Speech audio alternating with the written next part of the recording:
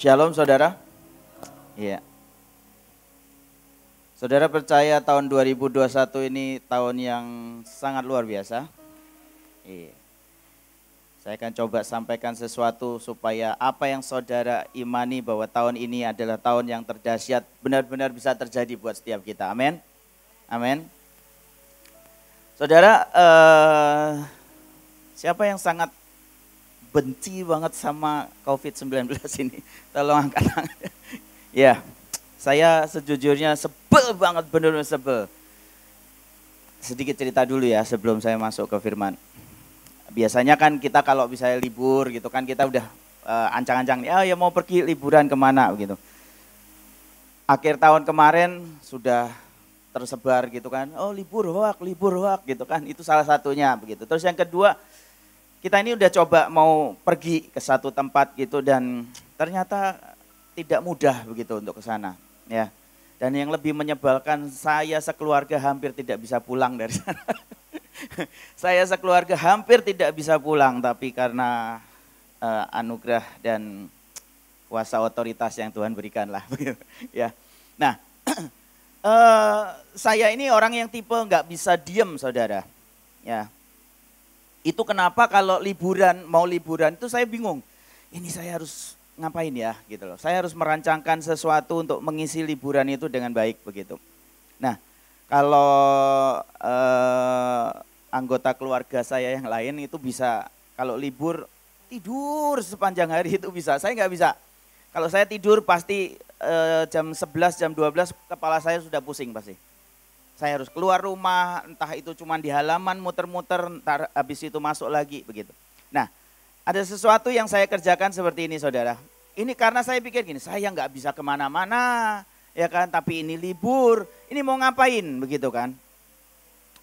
Akhirnya saya punya ide gini, oke, okay, saya mau menyibukkan diri saya dengan bercocok tanam, nah, ya kan? Nah, akhirnya saya membeli beberapa apa? Beli saya beli tanah, saya beli poli, saya beli apa aja lah pokoknya yang diperlukan buat bercocok tanam tadi. Nah, singkat cerita Saudara, saya itu ada dapat benih beberapa begitu dan istri saya beliin juga benih beberapa tanaman. Saya coba ya, saya coba dan ternyata proses untuk menanam itu asik begitu ya. Itu ternyata benih itu harus di disiapin dulu, direndam ya kan. Nanti dia akan muncul benih yang terbaik. Dari benih-benih itu akan muncul benih yang terbaik. Tanahnya harus disiapin semuanya. Semua pokoknya harus dipersiapkan dengan baik, ya. Pada waktu saya mempersiapkan semuanya, tiba-tiba itu Tuhan itu ajarkan sesuatu. Dia bilang gini, kamu tahu bahwa setiap firmanku itu seperti benih ini loh. Setiap firman yang Tuhan katakan itu seperti benih. Dan sejujurnya nggak ada alasan bahwa benih itu tidak pernah bertumbuh dalam hidup setiap kita. Ya, karena Tuhan sudah mempersiapkan semuanya yang terbaik. Tuhan ngomong ini, lihat kamu, ya kan, kamu malam-malam siapin itu benih, direndam, diperhatiin, dilihat. Yang bagus-bagus diambil, yang jelek dibuang. Tanahnya juga gitu kamu pagi-pagi siramin, sore siramin, semua disiapin dengan baik. Nah pertanyaannya kan begitu.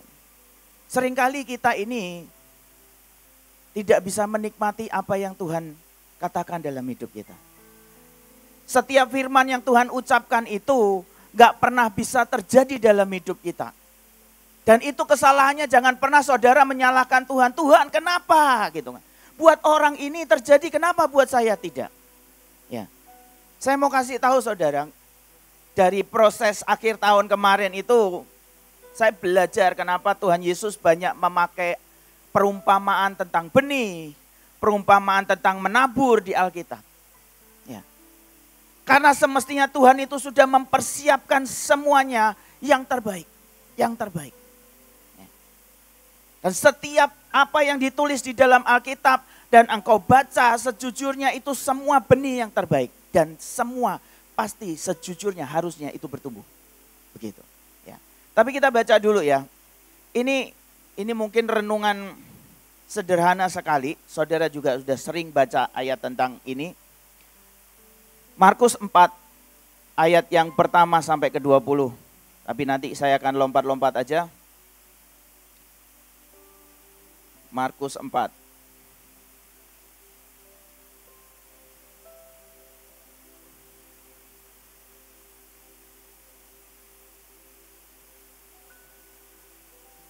Saya baca dari ayat yang ketiga ya. Dengarlah adalah seorang penabur keluar untuk menabur. Pada waktu itu ia menabur sebagian benih itu jatuh di pinggir jalan. Lalu datanglah burung dan memakannya sampai habis. Sebagian jatuh di tanah yang berbatu yang tidak banyak tanahnya.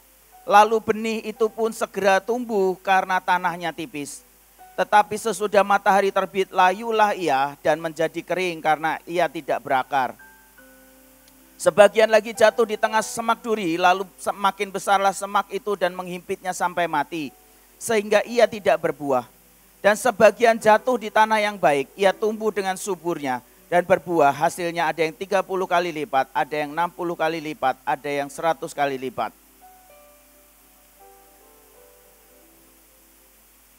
Ini perumpamaan tentang uh, benih tadi ya.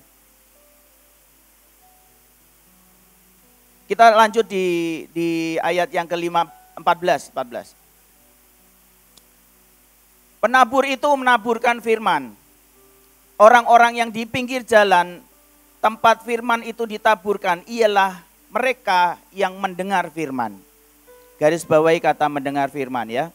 Lalu datanglah iblis dan mengambil firman yang baru ditaburkan itu di dalam mereka Demikian juga yang ditaburkan di tanah yang berbatu ialah orang-orang yang mendengarkan firman itu dan segera menerimanya dengan gembira, ya. Di situ ada kata lagi orang-orang yang mendengar firman itu, ya. Ayat ke-17, tetapi mereka tidak berakar dan tidak tahan uh, dan tahan sebentar saja apabila kemudian datang penindasan atau penganiayaan karena firman itu, mereka segera murtad dan yang lain ialah yang ditaburkan di tengah-tengah semak duri. Itulah yang mendengar firman itu. Sekali lagi dikatakan kata mendengar firman itu. Lalu kekhawatiran dunia ini dan tipu daya kekayaan, keinginan-keinginan akan hal-hal yang lain. Masuklah menghimpit firman itu sehingga tidak berbuah. Dan akhirnya yang ditaburkan di tanah yang baik ialah yang mendengar dan apa? Menyambut. Jadi saudara ternyata ada sebuah perbedaan yang membuat perbedaan itu bukan benihnya semestinya. Benihnya sama, itu sudah benih terbaik, terunggul, yaitu firman Tuhan itu sendiri.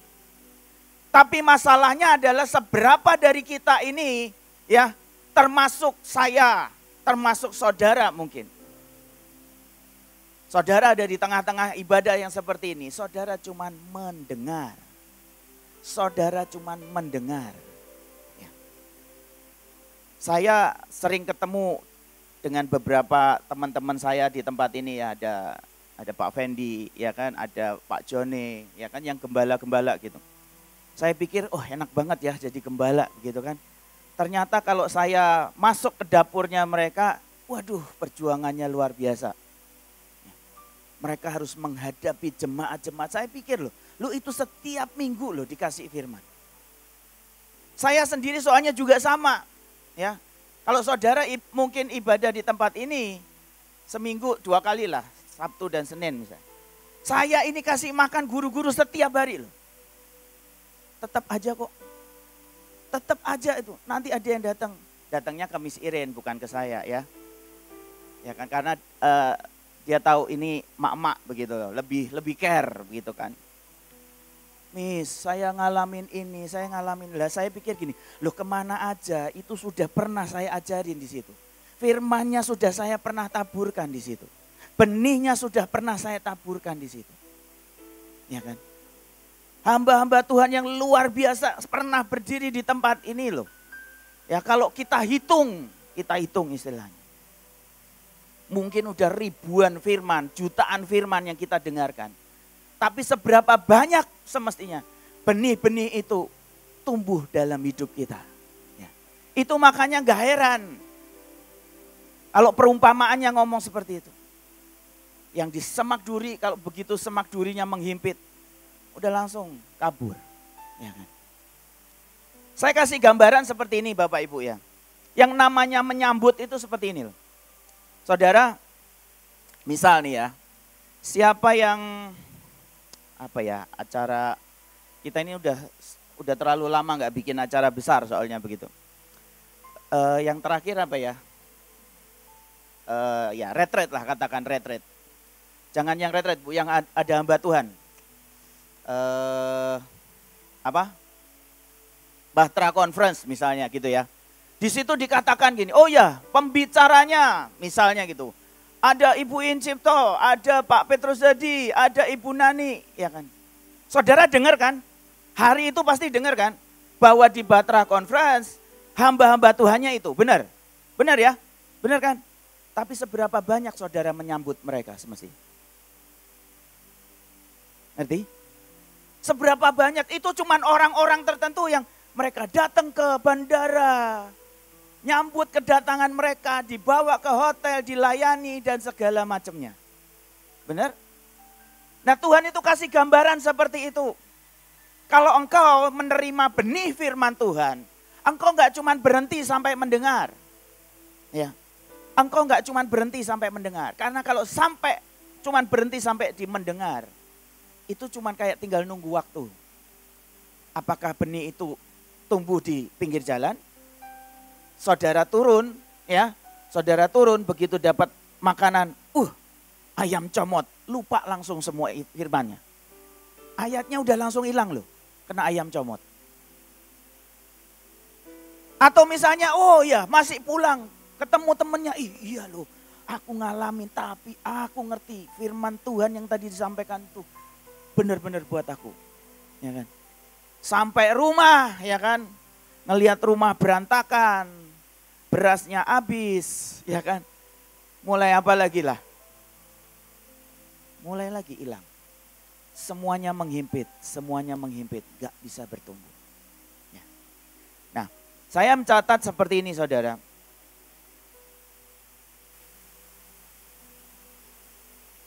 Ada satu hamba Tuhan yang saya dengarkan kemarin, uh, eh, TD Jakes namanya ya.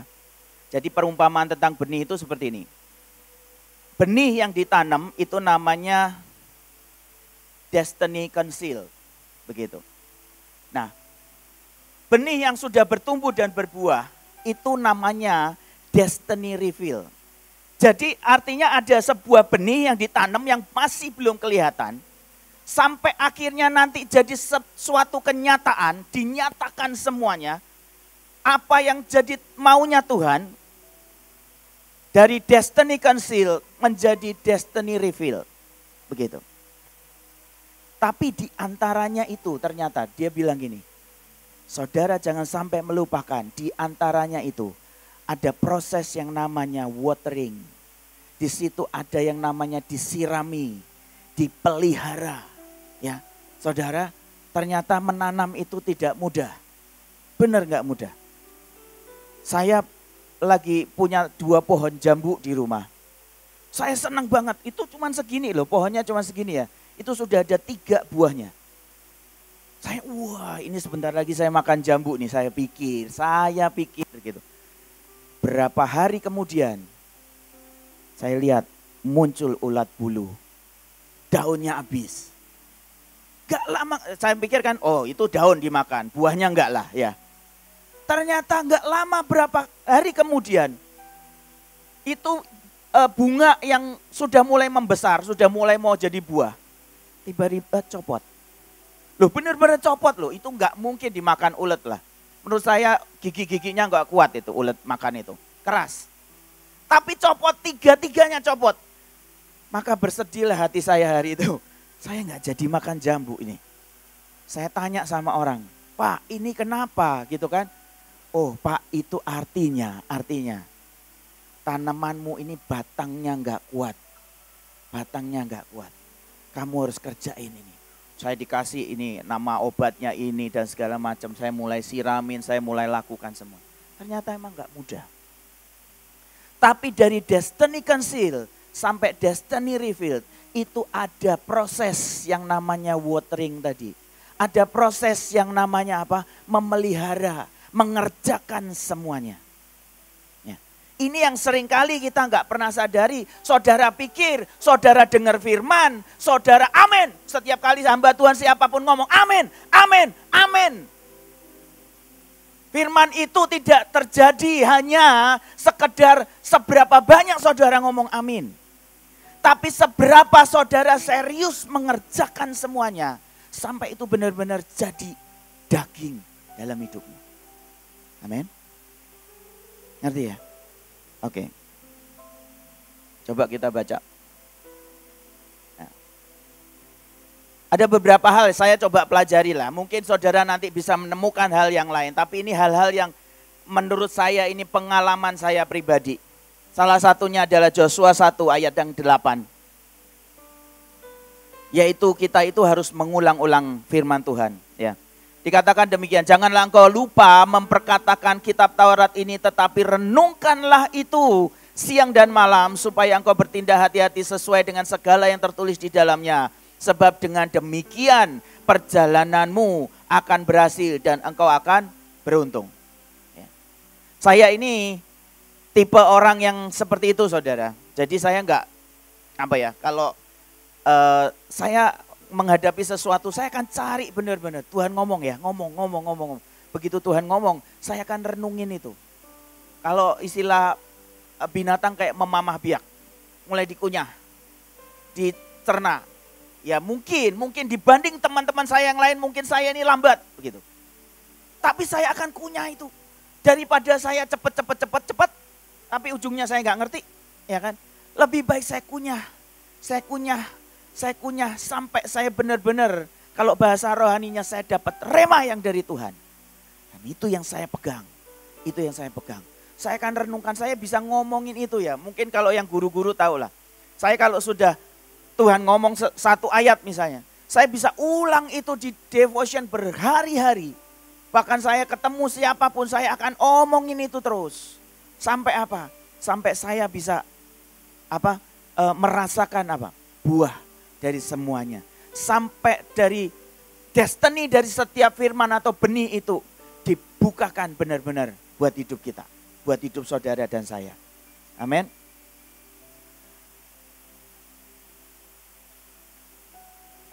Hal yang kedua saudara, ini kita baca dulu ya. Uh, ada ayat yang ngomong gini, Mazmur 119. Ayat yang ke-8, eh sorry, ayat ke yang ke-57 di, dikatakan demikian. Bagianku ialah Tuhan, aku telah berjanji untuk berpegang pada firman-firmanmu. Aku memohon belas kasihanmu dengan segenap hati kasihanilah aku sesuai dengan janjimu. Aku memikirkan jalan-jalan hidupku dan melangkahkan kakiku menuju peringatan-peringatanmu.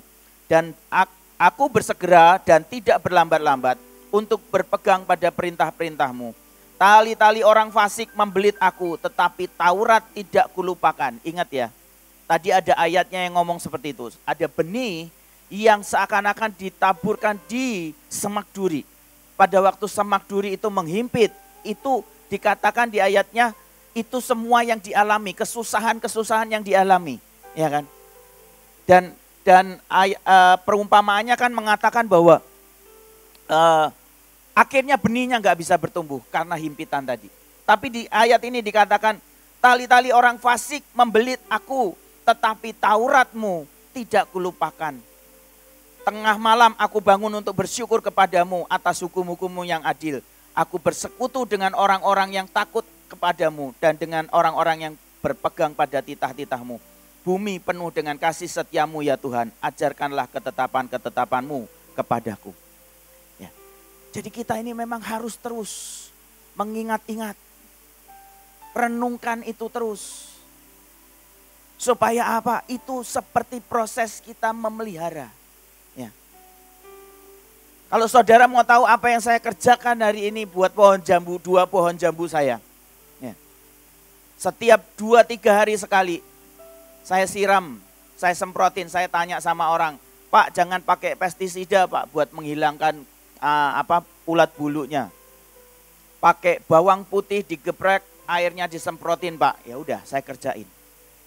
Saya kerjain tuh. Dan benar loh, ini sudah beberapa hari nggak ada ulat bulunya. Ya kan? Kenapa? Karena saya pengen ada buah di situ.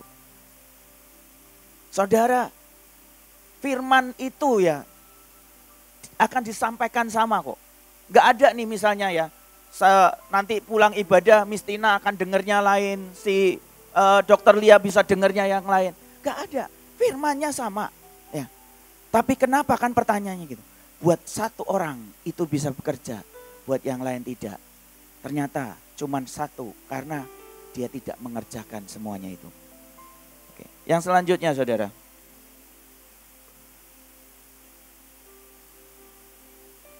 Hal yang kedua yaitu menghargai firman.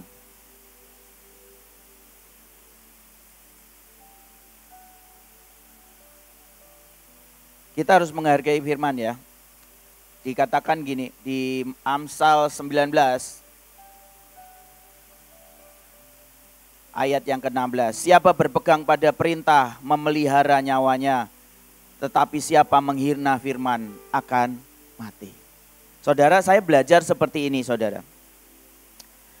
Seberapa sih semestinya gini, seberapa banyak dari kita yang gini. Kalau kita dengar firman, kita cari dari orang-orang yang kita sukai. Benar? Benar enggak? Kalau misalnya gini saudara, ada orang yang mungkin apa ya Berdosa lah saudara tahu. Mungkin pada waktu orang itu menyampaikan firman, saudara akan dengerin setengah hati kok. Benar gak? Benar kan? Atau misalnya mungkin bawahan saudara, saudara bos, bawahan lagi lagi apa ibadah kantor istilahnya gitu. Anak buahmu menyampaikan mungkin engkau akan, ya siapa sih dia kan gitu.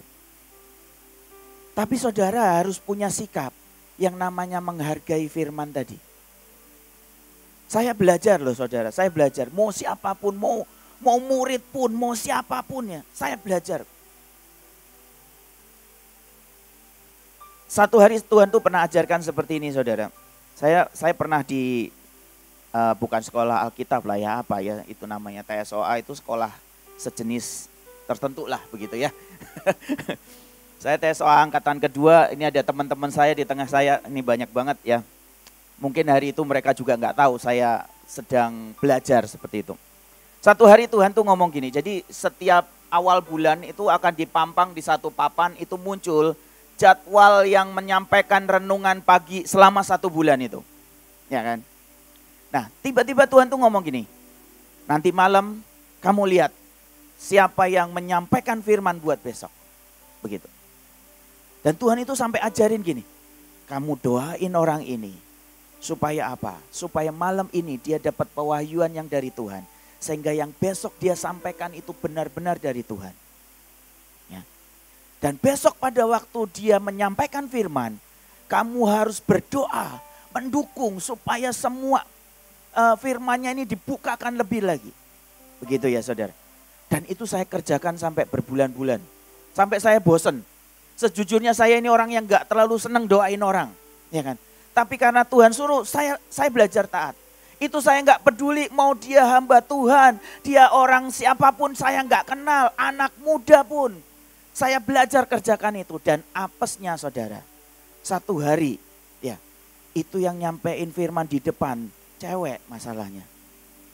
Saya duduk di baris keempat atau kelima lah dari depan dan saya doa, saya komat kami. Tiba-tiba teman saya di sebelah saya noleh. Kok kamu doa? kamu lagi naksir dia ya? Lah, ini nih ya kan, ini yang membuat semangatnya agak sedikit pudar. Padahal dia nggak tahu gitu loh. Saya dapat sesuatu dari Tuhan. Untuk apa? Untuk saya men menghargai, menghargai semuanya. Saya pengen saudara bisa belajar ya. Nanti kapan pun lah, uh, siapa pun yang berdiri di depan sini. Belajar, hargai. Firman itu tetap firman asalnya dari Tuhan. Ya, asalnya dari Tuhan. Kalau engkau tahu misalnya ini orang uh, gak bener atau bagaimana, engkau doa tak ngomong sama Tuhan, Tuhan buat aku nangkep yang dari engkau. Kenapa? Karena firmannya itu dari Tuhan, bukan dari orang itu. Percayalah. Ya. Semua yang dibaca dari Alkitab kok. Ya. Saudara harus belajar sampai seperti itu. Karena itu adalah proses kita mengerjakan semuanya. Ya, satu hari saya pernah uh, itu peristiwa lama banget ada kalau 10 tahun. Saya tiba-tiba ditegur ada satu anak uh, eh, SD kalau nggak salah. Dia negur saya. Ya, kan? ya menurut saya gitu kan, saya kan bisa gini. Enak aja kamu nggak sopan ya. Kamu ini murid, saya kepala sekolah kan gitu kan. Kan bisa aja, tapi saya belajar gini. Pada waktu dia ngomong, tiba-tiba Tuhan ngomong gini itu reaksinya pengennya salah tadinya ya. Tiba-tiba Tuhan ngomongin. Gak bisa. Kamu harus belajar. Kamu tetap salah. Memang kamu salah. Kamu harus belajar. Maupun walaupun dia murid ya kan. Tetap itu aku pengen menyampaikan sesuatu buat engkau. Begitu. Ngerti ya saudara? Hal yang terakhir. Miliki iman saudara. Ayatnya seperti ini di Roma 1 ayat yang ke-17. Sebab di dalamnya nyata kebenaran Allah yang bertolak dari iman dan memimpin kepada iman seperti ada tertulis orang benar akan hidup oleh iman ya. Orang benar akan hidup oleh iman. Saudara ada satu ayat lagi yang saya mau bacakan buat saudara. Ya. Yesaya 55 ayat yang ke-11. Demikianlah firmanku yang keluar dari mulutku, ia tidak akan kembali kepadaku dengan apa? Sia-sia. Tetapi ia akan melaksanakan apa yang ku kehendaki dan akan berhasil dalam apa yang kusuruhkan kepa kepada. Yakinkan satu hal, benih firman tetap benih yang terbaik. Kalau sampai tidak terjadi sesuatu, sampai tidak berbuat dalam hidupmu itu salahnya kita. Udah, gitu aja kita tidak mengerjakan semuanya dengan baik. Ini dikatakan jelas loh. Ya. Tidak ada yang kembali sia-sia. Dia akan terus mengerjakan. Nah, kalau saudara mengerjakan semua dalam hidupmu, percayalah itu gayung bersambut. Saya kasih sebuah perumpamaan lagi ya saudara. Jadi ceritanya kan tadi saya bercocok tanam itu. Saya punya ada satu ember kecil, bukan ember lah, kayak baskom gitu ya, bentuknya kotak saya isi tanah itu udah gayanya udah kayak uh, apa ya uh, penelitian di laboratorium begitulah. Saya semai benihnya di situ. Gitu. Jadi saya kasih di situ benih-benih yang dari dari benar-benar biji sampai dia muncul daun begitu kan. Itu di situ. Nanti kalau sudah gede baru saya pindahin. Ya kan? Nah, saya lagi nanam nanam apa? benih cabai cabai keriting ceritanya. Terus mama saya nanya gini, kamu nanam apa? Cabai keriting. Wah gak enak itu cabai keriting. Kenapa sih kamu gak nanam cabai rawit, cabai cabai yang gede begitu kan? Nah saya bilang, lah benihnya saya punyanya itu begitu kan. Nah satu hari kata dia menyiapkan benih. Dia nggak tahu itu mungkin dari apa cabai-cabai yang dia punya mungkin udah mulai busuk-busuk gitu. Dia siapin tuh, dikeluarin biji-bijinya, terus dijemur sama dia. Nah saya lupa itu jemurnya di mana begitu ya. Satu hari, satu pagi itu, saya keluar, saya mau siramin itu apa uh, tempat penyemaian saya. Saya lihat di situ, ternyata benih yang dia punya numplek semua di situ. Lo benar-benar numplek loh ini. Jadi nggak ada, saya saya kasih tahu ya, kalau saya pakai proses direndam, dicari yang terbaik, ya tapi hari itu, pagi itu saya lihat, itu nggak ada dipilih, nggak ada apa-apa. Itu dari proses dijemur, dan karena mungkin anginnya kencang, numplek kok. Ya aneh, numpleknya masuk ke situ semua. Sehingga saya tahu itu ada ratusan benih di situ. Nggak mungkin ya bahasa Jawanya, nggak mungkin saya jumputin satu-satu. Saya ambilin, enak aja ini tempat penyemaian saya nih gitu kan. Nggak mungkin. Yang terjadi adalah saya pasrah, ya kan? Saya sudah tidak bisa membedakan ini mana cabai keriting, cabai gede, cabai rawit, ya kan? Cabai apa lagi lah. Saya nggak bisa bedain. Daunnya sama, hijau semua kok. Ya. Dan saudara mau tahu, benih is benih. Numbuh tuh, numbuh. Saudara kalau mau ambil boleh tuh di rumah banyak banget saya sampai bingung. Saya mau taruh mana ya ini ya? Karena saya sudah bikin hampir 10 polybag sama beberapa pot, itu semua sudah ada satu-satu-satu semua. Itu masih ada begitu banyak dan itu masih numbuh sampai hari ini. Bahkan sekarang saya lagi nanam tomat pun ikut numbuh cabenya. saya sampai bingung, ini kalau masih kecil kan susah bedain ya. Mana yang cabai, mana yang tomat sekarang. Tapi saya mau kasih tahu saudara, ayat firmannya dikatakan tadi, ya kan? Setiap firman yang keluar dari mulutku tidak akan ada yang kembali sia-sia. Amin. Amin. Tidak ada yang kembali sia-sia. Buktinya itu loh, benihnya itu loh.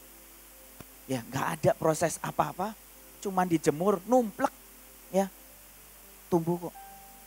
Bahkan numbuhnya itu, waduh, lebih ngebut daripada benih-benih saya kok. Benar-benar. Gede-gede sekarang. Mari saudara. Kalau saudara bilang bahwa tahun 2021 ini tahun-tahun yang akan dipenuhi dengan keajaiban. Ya. Saudara bayangin dari Januari nanti sampai Desember. Ya. Ada berapa banyak firman Tuhan yang sudah ditaburkan di tempat ini. Atau mungkin saudara dengar di tempat lain. Atau ditambah saudara mungkin cari di Youtube lagi tapi seberapa banyak yang akan bertumbuh dalam hidup kita tergantung dari kita mengerjakan atau tidak. Dari proses destiny conceal menjadi destiny reveal itu tergantung setiap kita bagaimana kita mengerjakan semuanya. Amin. Ada satu hal yang akan kita kerjakan untuk menutup semuanya. Saudara, tadi pada waktu duduk tiba-tiba Tuhan ingatkan seperti ini. Ini mumpung masih Januari ya, sekarang baru tanggal berapa sih? Berapa? 18 kalau nggak salah. belum belum terlambat lah. Sejujurnya saya pada waktu dari 2020 masuk 2021 itu setiap tahun saya akan Duh Tuhan ini apa lagi ya 2021 ini apa lagi ini ini apakah penyertaan Tuhan masih dahsyat seperti tahun sebelumnya begitu kan ya Iya akan lebih dahsyat lagi pasti ya nah Saudara saya mau mengajak setiap kita, nanti kita ambil waktu sebentar. Saudara tanya sama Tuhan. Minta Tuhan bicara. Satu ayat minimal. Ya. Dan engkau hidupi itu sepanjang tahun ini. Dan sampai engkau lihat hasilnya di dalam hidupmu. Amin. Dan juga buat engkau yang mau ke bangsa-bangsa. Ya saya termasuk nih. Saya mau berangkat ke Afrika Selatan, saudara. ya, itu dari saya dengar katanya terbuka, tertutup, terbuka, tertutup, terbuka, tertutup. Ah, mulah istilah. Ya, mau kebuka, mau enggak, pokoknya saya berangkat gitu loh istilahnya. Iya kan? Lah habis beritanya ber, e, berganti-ganti gitu gitu. Saya pergi ke kedutaannya aja, kedutaannya ditutup rapet, bener-bener rapet. Mau dikasih pengumuman, semua serba online begitu kan. Tapi yang terakhir saya dengar bisa begitu kan bisa bisa diurus visanya buat engkau yang mau pergi ke bangsa-bangsa ambil waktu sebentar mungkin satu dua menit terakhir ini tanya. Karena ada satu ayat gini tadi Tuhan ingatkan tentang ini saudara. Maaf ya kalau kebanyakan. Uh, supaya komplit lah. Yeremia 1 ayat yang ke berapa ini? 10 Ketahuilah pada hari ini aku mengangkat engkau atas bangsa-bangsa dan atas kerajaan-kerajaan untuk mencabut dan merobohkan, untuk membinasakan dan meruntuhkan, untuk membangun dan menanam. Saudara jangan lupa saudara pergi bukan cuma untuk cabut, roboh, cabut, roboh, cabut, roboh. Ya, kalian cabutin, kalian robohin, terus habis itu ngapain gitu kan? Ya, padahal di ayat ini dikatakan terakhirnya untuk membangun dan menanam. Ya kan? Kalau lagi tadi Joshua kasih kesaksian, hari-hari ini ada begitu bang, banyak bangsa-bangsa yang ketakutan, lockdown dan segala macam kesempatan buat setiap kita menanam yang ilahi di situ. Amin. Benar ya? Amin ya. Amin. Oke, kita akan ambil waktu satu dua menit untuk kita benar-benar tanya sama Tuhan. Buat engkau yang ke bangsa-bangsa, tanya ayatnya, Tuhan aku mau tanam sesuatu kebenaran firman Tuhan. Dan biar itu jadi tumbuh di bangsa itu. Mari kita sembah Tuhan. Kiara pasyikiara takara para patakara para patakara pasyikiara. Iya rata karabashikirerererere. Iya rata karabashakata karabarabarabashikirererere. Ada dua hal yang saudara harus minta pagi hari ini sama Tuhan. Benih firman buat hidupmu sendiri, buat engkau punya dasar sepanjang tahun ini. Dan satu lagi, firman buat engkau tanam di bangsa-bangsa. Kiarata karabasyek, kiararararararabata karabasyek. Kiarata karabasyakata karabarabata karabasyek. Marialah roh kudus. Bukakan semuanya. Singkapkan semua keterbatasan kami Tuhan untuk menangkap yang ilahi. Bicara Tuhan. Diarata karamase Diarata karamase diarara. Ora mata karamata karamase Inara mata karama ya rabata karama rama rama rama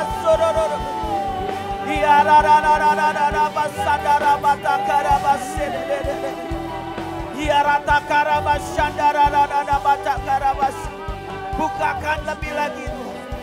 Curahkan lebih lagi. Curahkan lebih lagi. Curahkan lebih lagi Tuhan. Bahkan Tuhan gak cuma berikan satu benih.